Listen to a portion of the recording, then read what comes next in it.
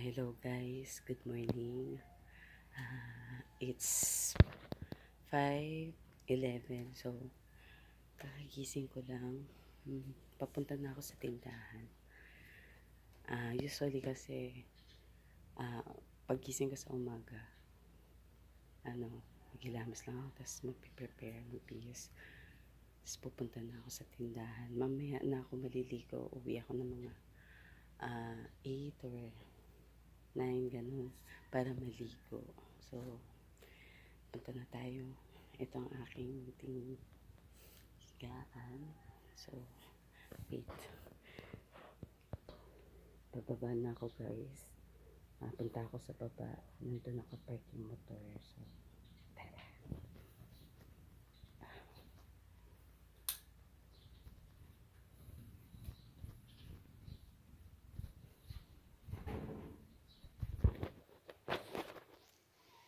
Yan.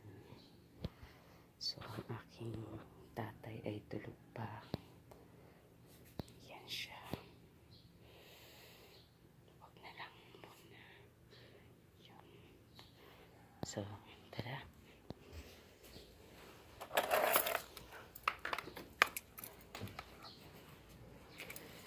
Guys.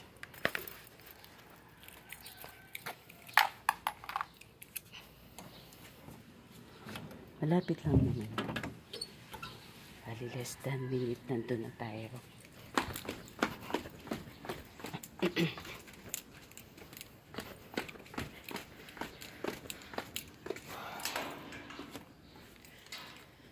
So 5.11 yung pinalita ko kasi galing ako sa friend ko kagabi.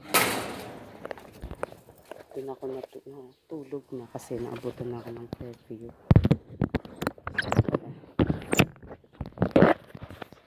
So, yan, ito yung motor. Nagdadrive na ako. Ilagay ko muna yung phone dito. Sa holder.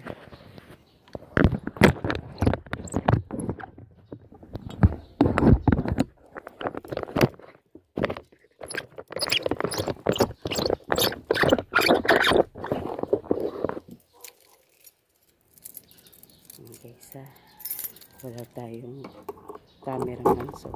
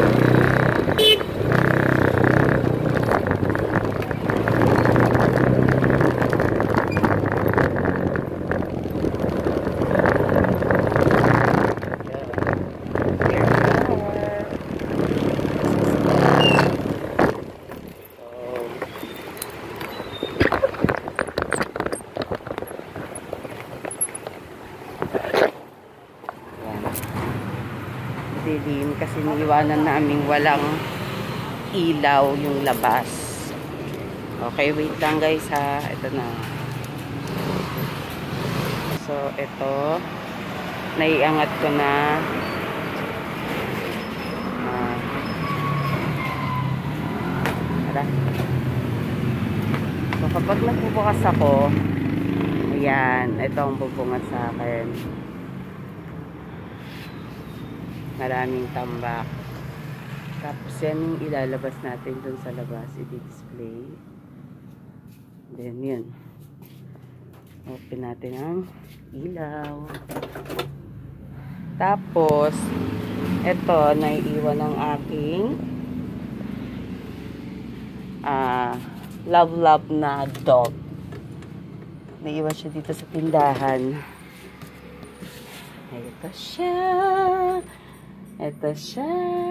Sumasalubong. Amy. Amy. Yun, siya ang naiiwan dito sa tindahan. O, di ba? Malikot, sobrang likot. Mm -mm -mm -mm -mm -mm. Yan, ganyan siya. Ganyan siya ka-hyper. Pag dumarating ako. So, later na ha. Magbubukas muna ako, Amy. Yan. Mhm. So, kung mapapansin nyo, tambak siya dyan. Ayan. Ano na, um, 5.19. So, medyo na-late na tayo ng konti. Kasi nga, galing ako sa friend ko kagabi. Tapos umuwi pa ako ng bahay. So, yun. Pwede muna ako magubad ng mask. Mhm. Amy. Say hello. Hello. Hello to everyone. O, di ba? Mhm. Ah, later. Later. Okay. Mag-display na ako guys ha. Stop ko muna. Yan. Kung makikita nyo guys, nakatambak pa siya dito sa labas. And then, ito yung itsura ng labas natin pag wala pang display. Highway, highway. So later, dyan natin ilalagay yung display. Guys. Sana naging maganda ang tulog nyo. Okay, stop ko muna.